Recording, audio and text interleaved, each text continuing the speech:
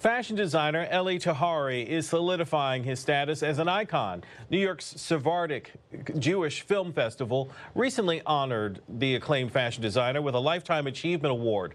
Correspondent Marie Jean Tric caught up with Tahari about his life and career on the evening he received the honor and found out that his journey is far from over.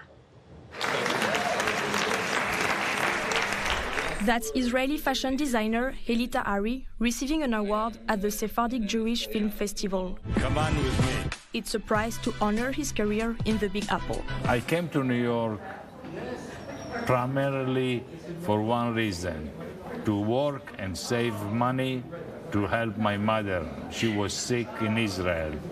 And I ended up staying here for over 40 years. 40 years in which Tahari has built a fashion empire with more than 600 stores spread out in more than 40 countries around the world.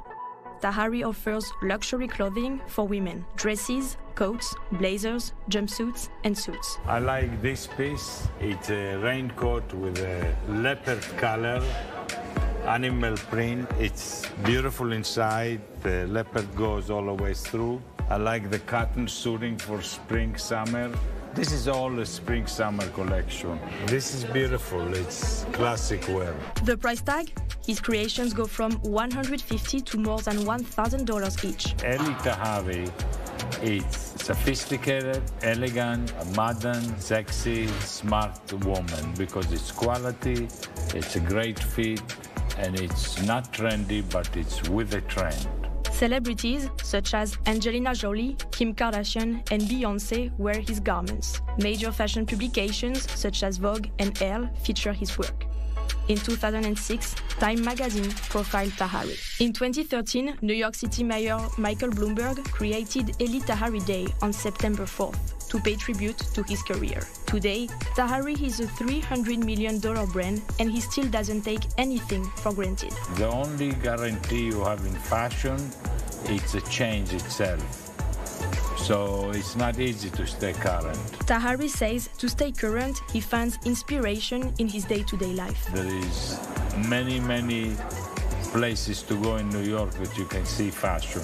I, I like to go to the CFDA, the Council Fashion of America. I see a lot of uh, women dressed up there. I go to restaurant. Which restaurant? I go to Jean-Georges. I go to the Mark Hotel. It's also Jean-Georges. I go to Marea. Tahari says he also picks up ideas from his birthplace. Uh, Israeli fashion is very advanced. They're very creative there. But they're good in the casual clothes, in the jeans, in the t-shirt, in the summer clothing, in bathing suit. So when it comes to that, they are very inspiring. But I have a few Israeli designers working for me in New York.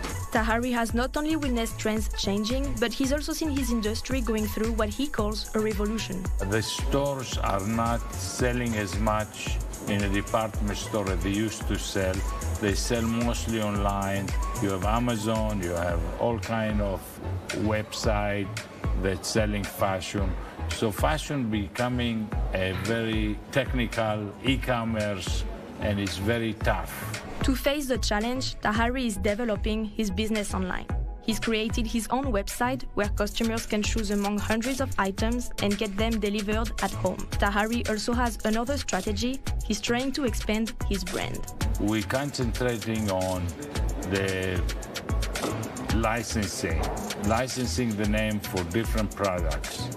And that seems to be the cash cow, where the money comes from, mostly.